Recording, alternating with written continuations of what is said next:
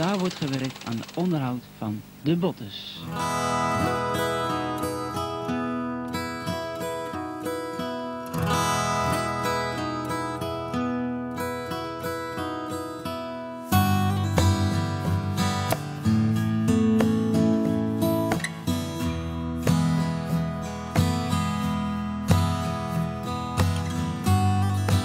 Wat is het verschil tussen een eh, botten maken en eh, dat nu gebeurt en, en het verschil van vroeger?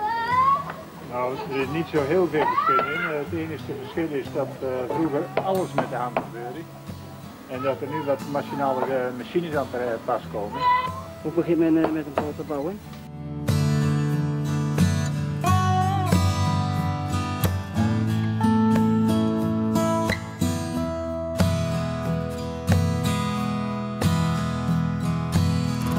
Als er een nieuwe botter eh, gebouwd wordt, dan wordt eerst de kiel gelegd. En op die kiel eh, wordt uh, voorsteven geplaatst, dat heb ik hier.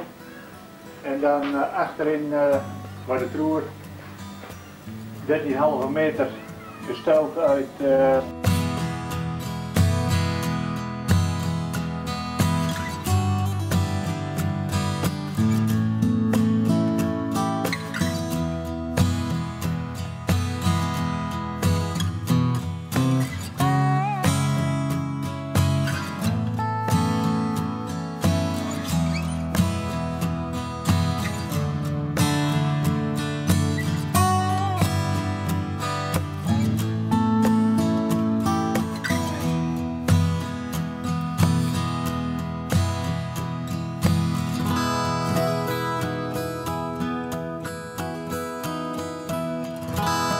is deze scheepswerf ontstaan? En in 1755 was dat een familie Kroeze. Ik meen dat die van Vollenhoven kwamen. Die hier eh, de werf of gesticht hebben of voortgezet. En in eh, 1829 eh, zijn wij als eh, familie er terecht gekomen.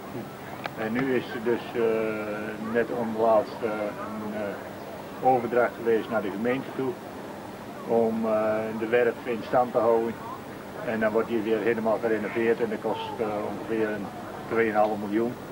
En dat zal moeilijk eh, op te brengen zijn voor een particulier en daarom wordt het nu gedragen door de gemeenschap.